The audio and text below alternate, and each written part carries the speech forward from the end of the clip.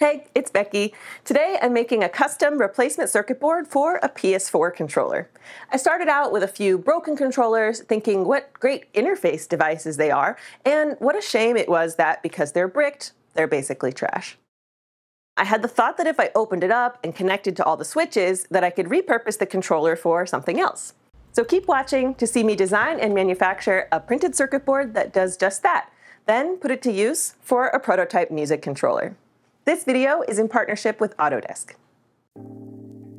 Inside the controller, there's a circuit board that hosts the joysticks, a few switches, and the brains of the operation, but most of the buttons are wired up through this membrane keypad.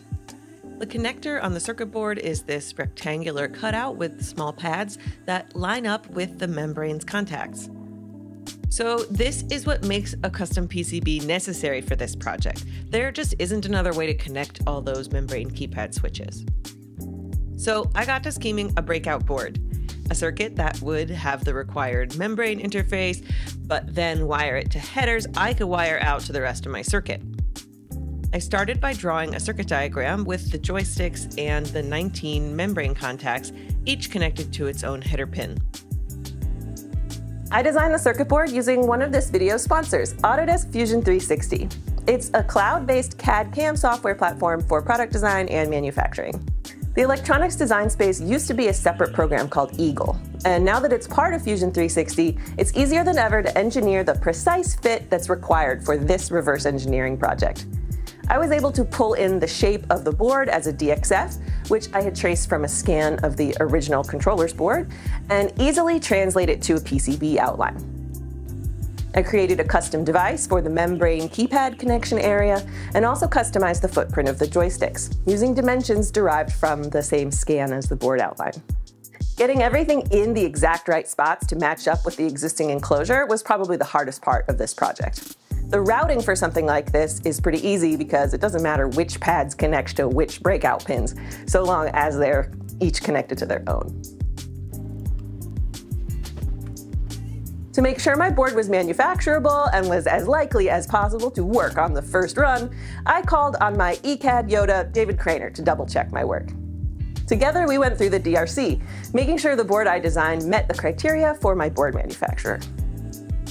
Click my link in the description below to sign up for your free trial of Fusion 360. Since the board also exists in 3D, it was easy to 3D print a version to test if it would fit in the controller and if the holes fit my joysticks. This gave me some peace of mind that the boards I was planning to order would in fact fit. But I couldn't really be sure if the membrane contact area would work until the boards came in the mail. The original circuit board has some conductive material on each membrane pad, so I applied solder blobs to help the pads stick up a little from the surface of the board.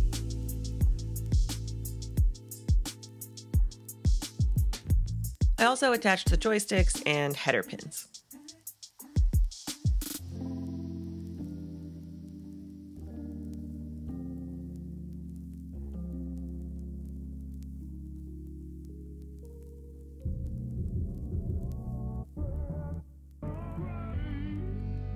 I cut out an area at the back of the controller to allow the wires connected to the headers to protrude straight out and connected everything to a solderless breadboard so I could figure out which pin does what. I used some 5 volt power and an LED to accomplish this. The LED was wired from power, and there were a couple pins from the joystick that I knew should be ground. So I'd plug the LED into the unknown pin, then press all the buttons on the controller to see if one lit up the LED. I was super excited when this actually worked. This process, combined with some multimeter probing of the original circuit board, helped me reverse engineer the button to membrane wiring and create meaningful labels for the membrane pads on my circuit board. Now that I had figured out the pin mapping, I could wire them up to a microcontroller to actually do something. So I left my investigative circuit alone and started on another controller. Instead of headers, I soldered wires directly to the board, which meant they could protrude out the existing front opening on the controller instead of having to cut into it. This video is also sponsored by DigiKey, where you can get all the parts and tools you need to make your own custom electronics, including affordable custom board fabrication with the DK Red service. Learn more at the link in the description. I wish I could have, but I didn't use DK Red for this project because it doesn't currently support interior routing, and I needed a couple oblong registration slots. Next time.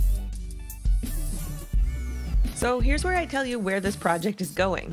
I'm collaborating with Lightfoot Beats and House of Content to make a music controller. His style lends itself to this sort of noise toy, sample playground type of vibe, so I knew this was the perfect project to work on together.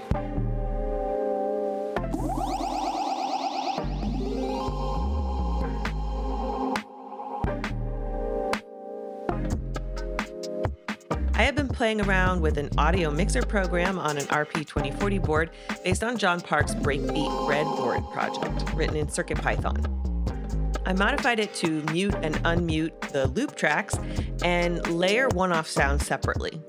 I loaded up Lightfoot's audio packs, and this working prototype was born.